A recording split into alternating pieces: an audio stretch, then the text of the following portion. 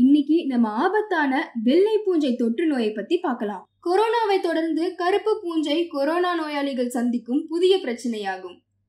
India முழுவதும் தொடர்ந்து கருப்பு பூஞ்சையால் பாதிக்கப்படுபவர்களின் எண்ணிக்கை அதிகரித்து கொண்டே வருகிறது. இதனைத் தொடர்ந்து மாநில அரசுகள் கருப்பு பூஞ்சை நோயை தொற்று நோயாக அறிவிக்கும்படி மத்திய சுகாதாரத்துறைக்கு அறிவித்துள்ளது.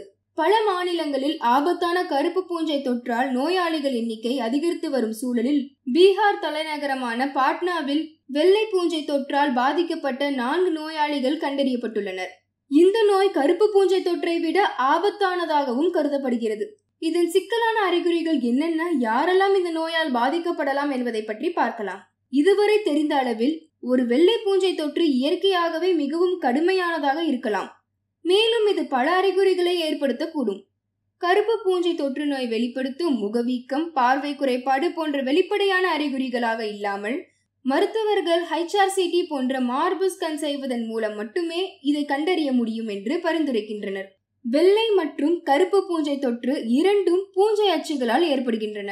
அவை சூழலில் இருக்கும் மியூகோர்மைசெட் என அழைக்கப்படுகின்ற நோய் தொற்று இல்லை என்றாலும் ஒரு நபர் நோய் தொற்றுக்கு ஆளாக நேரிடும் என்று கூறப்படுகிறது.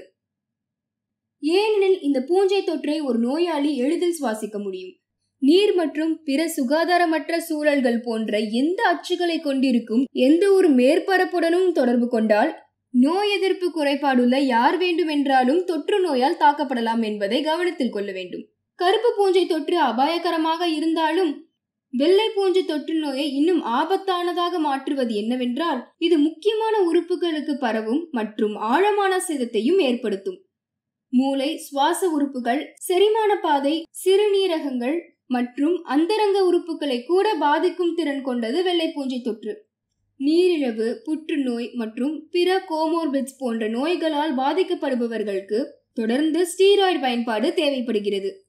மேலும் இவர்கள் தொற்று நோயை பிடிக்கும் ஆபத்தையும் எதிர்கொள்ளக்கூடும். சில அறிக்கைகளில் பெண்கள் மற்றும் குழந்தைகள் தொற்று நோய்க்கான கூடுதல் அபாயங்களை எதிர்கொள்கின்றனர். கருப்பு பூஞ்சை போலவே ஒரு நபர் சுகாதாரமற்ற மேற்பரப்புகளுடன் தொடர்பு கொள்ளும் போது வெள்ளை பூஞ்சையும் பரவக்கூடும் என்று மருத்துவர்கள் எச்சரிக்கின்றனர்.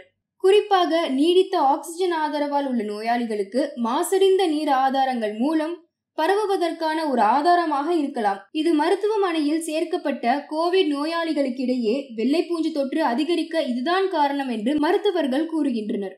இப்போது அதிக அளவில் நோயாளிகளிடம் காணப்படுவது போல வெள்ளை பூஞ்சை தொற்றுடன் கண்டறியப்பட்டுள்ள பெரும்பாலான மக்கள் கோவிட் நைன்டீனை ஒத்த சுவாச அறிகுறிகளை கொண்டிருந்தனர். ஆனால் வைரஸ்க்கு எதிர்மறையான பரிசோதனை முடிவை பெற்றனர். எக்ஸ்ரே மற்றும் மார்பு ஸ்கேன் மட்டுமே நோய் எவ்வளவு கடுமையானது மற்றும் முக்கிய உறுப்புகள் எவ்வாறு பாதிக்கப்பட்டுள்ளது என்பதை துல்லியமாக கணிக்க முடியும் என்று நிபுணர்கள் தெரிவிக்கின்றனர். இந்த விஷயத்தில் இதுவரை போதுமான தகவல்கள் கிடைக்கவில்லை என்றாலும் பெரும்பாலான மருத்துவர்கள் வெள்ளை பூஞ்சை மார்பு மற்றும் நுரையீரலை பாதிக்கக்கூடும் என்று பரிந்துரைக்கின்றனர். எனவே ஒருவர் இருமல் மார்பு வலி மூச்சு திணறல் போன்ற அறிகுறிகளை பெறலாம். இது தவிர தொற்று வீக்கம் நோய் தொற்றுகள் தொடர்ச்சியான தலைவலி போன்ற அலர்ச்சி அறிகுறிகளையும் ஏற்படுத்தும். கூடுதலாக கொரோனா வைரஸிலிருந்து குணமடையும் நோயாளிகளுக்கு அடிப்படை நிலைமைகள் மற்றும் சிகிச்சைகள் காரணமாக வெள்ளை பூஞ்சை தொற்று அபாயத்தை எதிர்கொள்ளலாம்.